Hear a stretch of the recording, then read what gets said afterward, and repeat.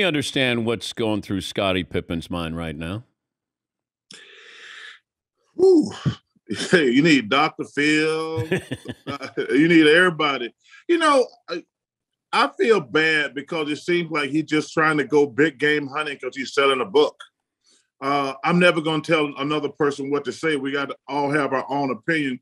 But this seems like he's got a book coming out because the book, when, when you write a book, in my opinion, it should be your personal thoughts about everything about you, you letting the world know what you think.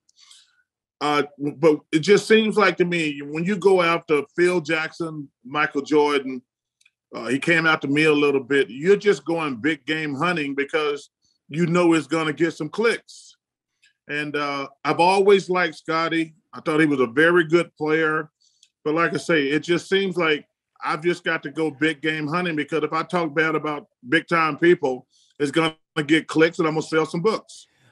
I feel bad for him because it felt like nobody really asked him his opinion when he played. I remember being around the Bulls, the NBA Finals, and it felt like it was Mike, it was Phil, it was Rodman, it was it was everybody but Scottie. And here's Scottie, one of the great players of all time. And I think he just wants to kind of set the record straight. I think he really got hurt with the last dance. He probably tuned in with his family saying, Hey, Mike's going to be saying some nice things about me. And then next thing you know, Mike's roasting Scottie there. Um, well, Dan, even myself, when people talk about me, they get to bring up stupid stuff I did.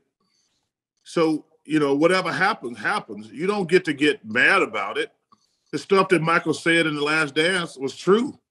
Uh, like every time they bring up stupid stuff I did, I can't get mad. I did have done some stupid things in my lifetime. Uh, but I don't think it was Michael's intention to roast Scottie. But like I say, I just think that it seems like if, if first of all, if you want to say these things, just say them. Don't put them in a book. That's the only problem I've had with a lot of these things.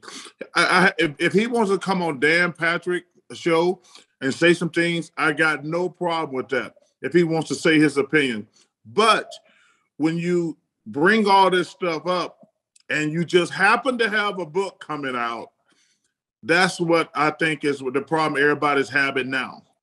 But he's taking on Mike right now, and as you that's know, been, listen, uh, listen, that's as big as game hunt as you can get. I know, but you never get that trophy. You you you can't. Mike doesn't let you put you know his head on your uh, your your wall. That that doesn't happen.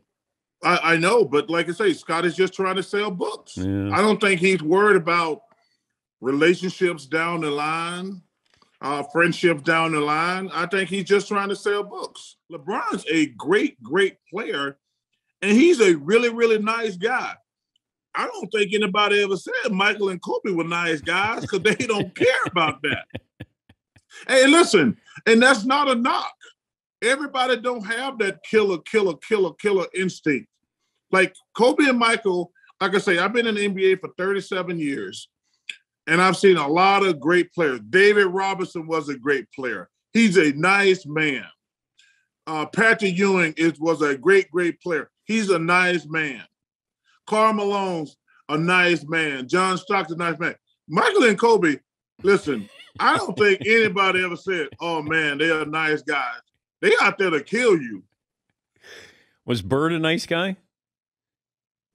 No. Uh he it's like uh but he didn't have that physical ability. Like Larry beat you with his will and his mind, but he didn't have the athletic ability that Kobe and Michael and LeBron and those guys had. Yeah. Larry willed himself and his team to win. Uh, that's a great question too. Same thing with Magic Johnson. Magic Johnson was a great, great player, but he couldn't physically impose his will upon you like Kobe and Michael could.